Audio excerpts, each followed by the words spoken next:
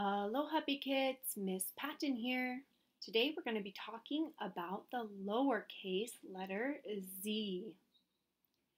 Do you remember what sound the letter makes?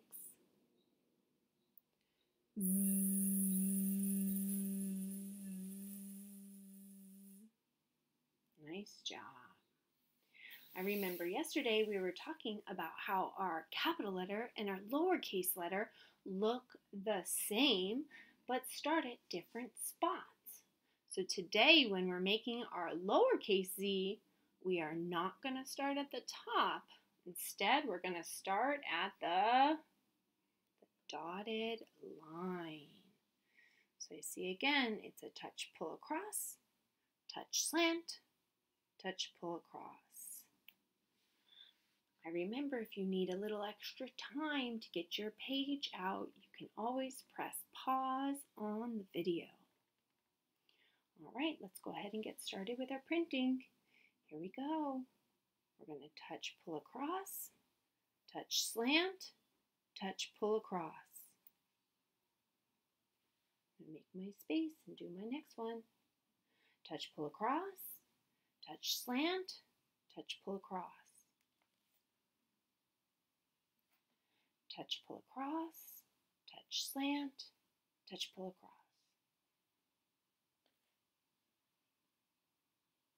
Gonna squeeze one more on my line. Touch, pull across, touch, slant, touch, pull across. What sound does it make?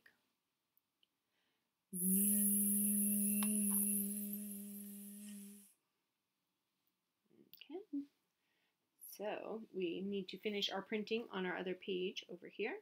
So we also need to color the pictures that begin with the Z sound. So I have my red crayon here. We'll go through the pictures. If it starts with the Z sound, we'll leave it. And if it doesn't, we'll give it a cross. Here we go.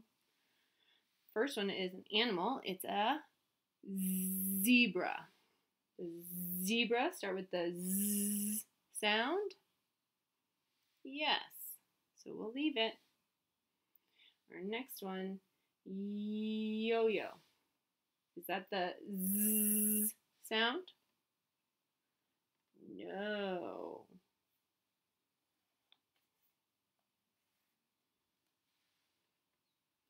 This next one's a tricky one. Some people call it a blimp. Other people call it a Zamboni. What's the first sound in Zamboni? Z Is that a match? Mm, yes. So if you call it a Zamboni, we're going to leave it. What if you were calling it a b b blimp? Then you would cross it. That's correct. Our next one here looks kind of like a shape, but it's a number.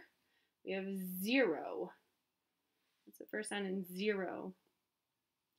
Z Is it a match? Yes. So we'll leave it.